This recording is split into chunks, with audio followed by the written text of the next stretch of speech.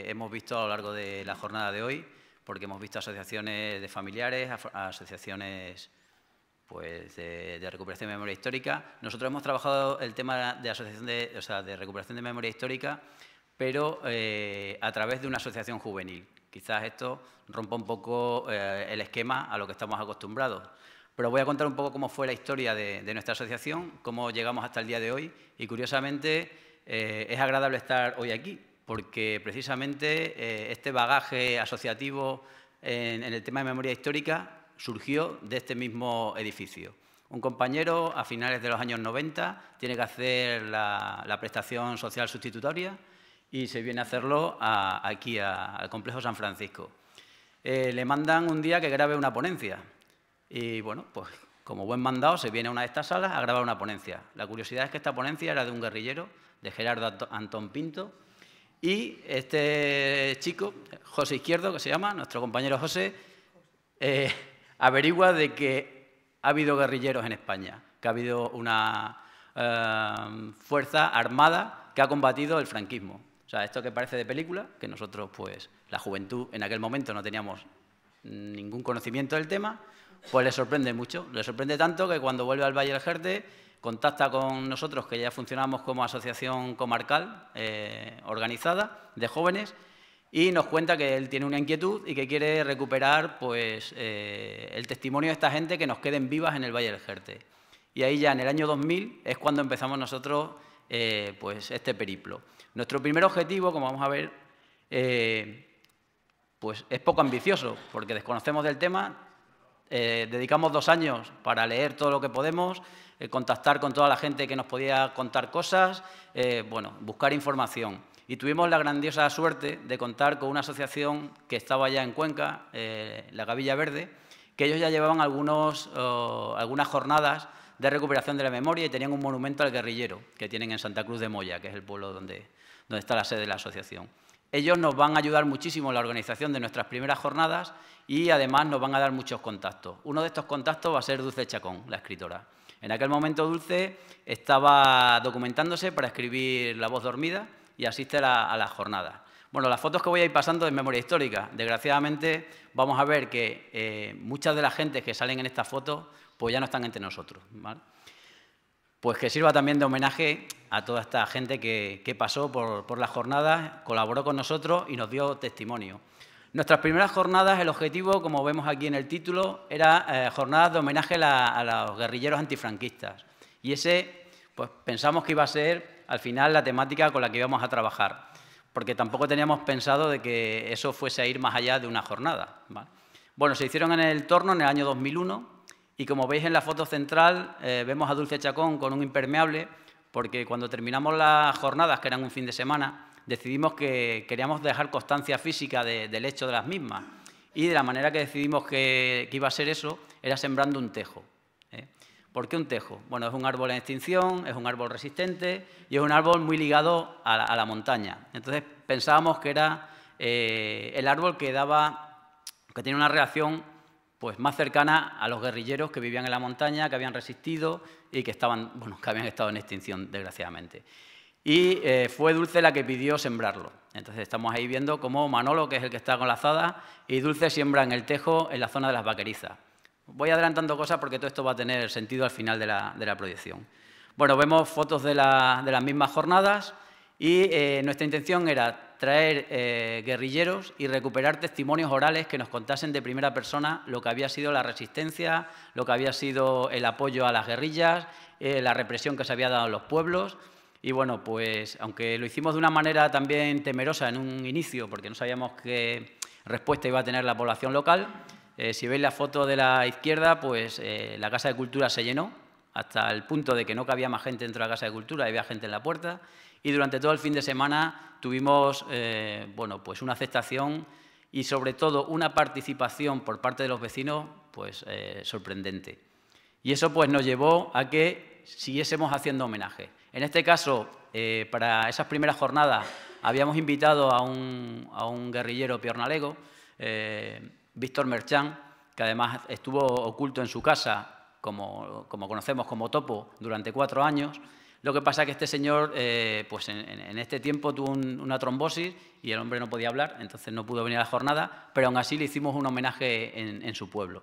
Bueno, esto es un recorte de prensa de la, época. Vais a ver que las fotografías, pues la digitalización todavía no estaba muy avanzada y funcionábamos con carrete. Bueno, estos son el, el cartel de la segunda jornada. Aquí ya nos venimos un poco arriba, como hemos tenido muy buena acogida. Eh, esta vez ya vamos a salirnos del pueblo porque queremos un espacio más amplio donde poder eh, tener un programa mucho más eh, ambicioso, invitar no solamente a testimonios orales vivos, sino también hay que implicar ya a historiadores, cineastas, escritores y bueno, pues una amalgama de gente que trabaje la temática de memoria histórica. Como a nosotros nos había costado mucho enterarnos de qué era lo que pasaba o qué había pasado en nuestra historia reciente, para que esto fuese más fácil, editamos ese pequeño facimil que está a la derecha, explicando un poco lo que, era la historia de la, guerrilla antifranquista a nivel nacional y, sobre todo, eh, centrándonos en el tema extremeño, para que la gente, pues en 20 páginas, pues te hagas una idea, mm, bueno, pues lo, más eh, certera y concreta posible. Bueno, este es el programa de, de estas segundas jornadas. Aquí ya ponemos películas, la película Silencio Roto, eh, viene el director Monchar Mendari a, presentar la, película. Eh, bueno, pues tenemos historiadores, traemos exposiciones que nos ceden nuestros compañeros de la Gavilla Verde de, Cuenca. Y aquí empieza también un periplo que va ligado, porque eh, en aquel momento muchas de estas asociaciones memorialistas que estaban a lo largo de todo, el Estado español, intentamos organizarnos y crear un proyecto que nosotros denominamos, entre todos, el proyecto Sierra y Libertad que era la recuperación de la memoria a través del paisaje. Estas son pues, imágenes de las segundas jornadas, vemos algunas de las exposiciones, las ponencias. La verdad es que eh, seguramente que nos veamos mucha gente más joven de lo que somos ahora. y sobre todo lo más importante y que desgraciadamente a día de hoy ya hemos perdido, que son los testimonios eh, orales. Aquí tenemos pues, guerrilleros, eh, de las agrupaciones Levante Aragón, de, la zona centro y de la, zona extremeña, Eulalio Barroso. Bueno, aquí también tenemos a Ángel en una de, presentando un documental. Y bueno, eh, desgraciadamente, Dulce nos deja en el año 2003, pero un año antes, eh, en, un, en, un, artículo que le hacen en, el, en un dominical del país, deja esta frase. Es preciso para que la Asociación de Jóvenes del GERTE continúe, rastreando la historia del maqui en Extremadura y organizando encuentros que se han convertido ya en foros necesarios para reconstruir los hechos. En este artículo ella hablaba de, la recuperación de la memoria histórica. Más, ponencias, de más jornadas diversas de toda la temática, tocando bueno, pues, eh, todos los temas de memoria, eh, llevando testimonios. Lo más importante de nuestras jornadas para nosotros eran los testimonios que logramos reunir a lo largo de siete años, que fueron lo que duraron las, jornadas. En el año 2004, Dulce muere en el 2003, en diciembre del 2003, que este año hace 20 eh, años de, su pérdida, y eh, bueno, pues le hacemos un homenaje en el programa. Pues alguna foto más de las ponencias. Eh, llegamos a tener la suerte de poder traer gente que estaba en el exilio en Francia, Teo Francos, Abel Paz, bueno, pues Tuvimos, eh, a, lo largo de las charlas, pues también teníamos eh, venta de, libros, algún, algún programita más. Bueno, y, esto para lo que nos guste la polémica, eh, hemos tenido a los de la MICAL, pues en nuestra jornada saltó aquella gran polémica que tanto daño hizo a la memoria histórica, y es que tuvimos como ponente a Rin Marco, que bueno, pues suplantaba, suplantó eh, a, personas que habían estado en campos de concentración y a partir de estas jornadas pues, eh, se destapó este fraude que hizo mucho daño a, las asociaciones memorialistas.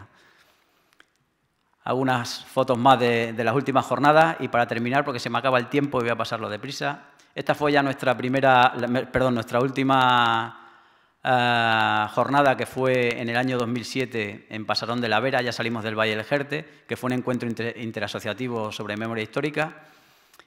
Y eh, también participamos de los cursos de verano que organizó la Universidad de Extremadura en Yuste. Y quizás, eh, pues, eh, nuestro mayor logro, sin quererlo, pues fue el monumento a la memoria que está en el torno. Esto ya lo hicimos en el 2008 a través de, las subvenciones que daba eh, el gobierno de Zapatero a la, Ley de Memoria Histórica. Y quizás algo que, nos costó tanto llevar a cabo, como fue la colocación, que esto quedaría para, otra ponencia, cómo llega el monumento al Jerte, que fue algo bastante azaroso.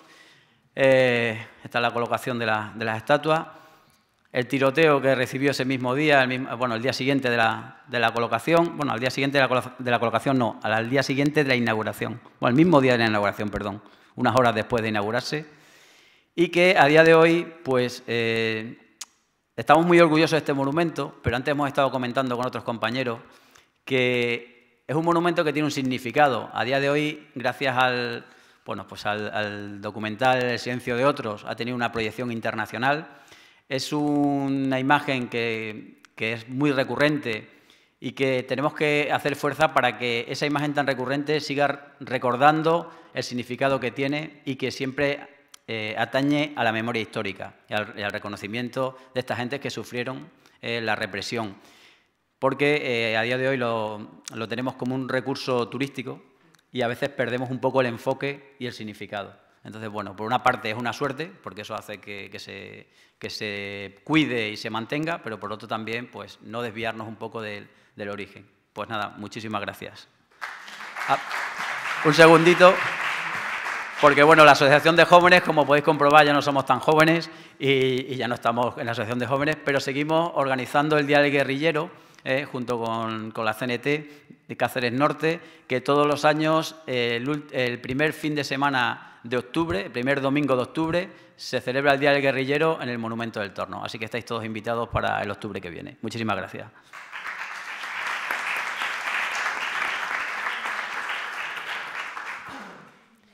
Muchísimas gracias. Eh, llamo a que se una a la mesa.